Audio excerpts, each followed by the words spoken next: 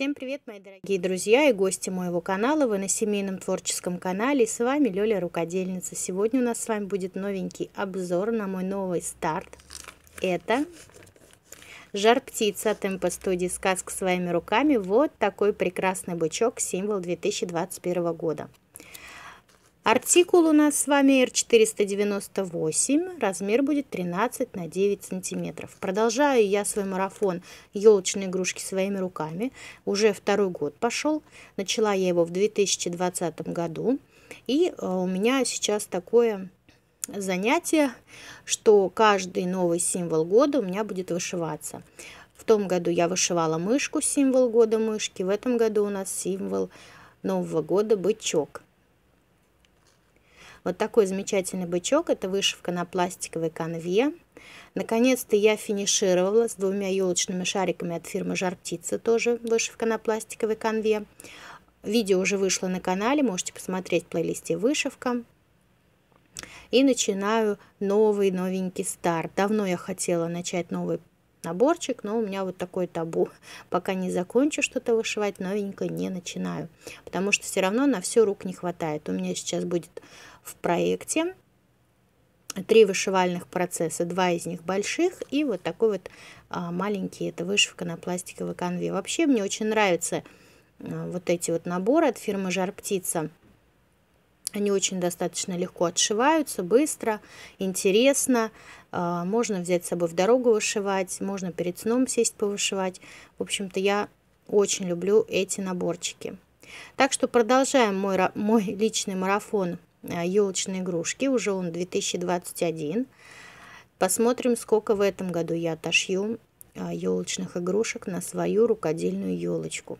Очень меня увлекло это занятие. В общем-то, мне нравится создавать такие интересные вышивки. Скажем так, прикладная вышивка. Так, ну что, давайте посмотрим комплектацию этого замечательного наборчика.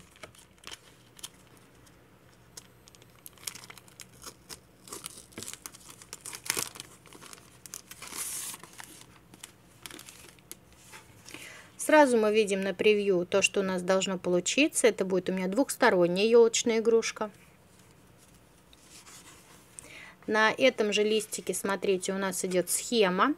И, что интересно, э, здесь бэк выделен красным таким э, цветом, достаточно жирным. И это очень удобно, потому что я зачеркиваю схему. И потом не всегда, когда черным выделено выделен бэк, не всегда его видно за синей ручкой. Здесь, в принципе, очень удобно. Кстати, можно, наверное, текстовыделители будет купить и ими выделять. Это, наверное, будет удобнее. Также у нас, как всегда, в каждый набор вкладывается инструкция. Ой, какие яркие сочные нитки. Ну что, жар птица начала вкладывать у нас иголочку. Вот такие яркие сочные нитки. Посмотрите, какие яркие оттенки. Вообще шикарные. Наконец-то наступает весна. У нас солнечно. Солнечно. И посмотрите, Яр. как хорошо, когда светло днем снимать видео. Такие насыщенные, сочные оттенки. Так, здесь у нас с вами, сейчас посмотрим, 25 цветов. Достаточно такое количество. Ну, нарезка, конечно, короткая. Всегда в маленькие наборчики делают короткую нарезку. Я люблю нарезку длинную. Дальше у нас с вами вложено вот таких вот а, два кусочка пластиковой канвы небольшого размера, так как игрушка двухсторонняя. Ну вот и вся, в принципе, комплектация этого наборчика. Так что, э, мои дорогие друзья, девчонки-вышивальщицы, э, буду начинать новый набор такого очаровательного бычка будем с вами вышивать. Так что на новой вышивальной неделе наконец-таки появится хоть один новый но процесс. Потому что уже я устала от одного и того же а новые наборы начинать надкусывать, ну, а, не знаю, они лежат, а, канва со временем все равно пылится, желтеет. как бы мы ни старались аккуратно это все хранить. И знаете, кстати, я вот тут задумалась над таким вопросом. А, у нас же есть у всех запасы, да, наши любимые хомячьи норки. И вот мне стало вдруг таки интересно, а не портятся ли там нитки и канва, пока они у нас лежат, там год, два, три, четыре.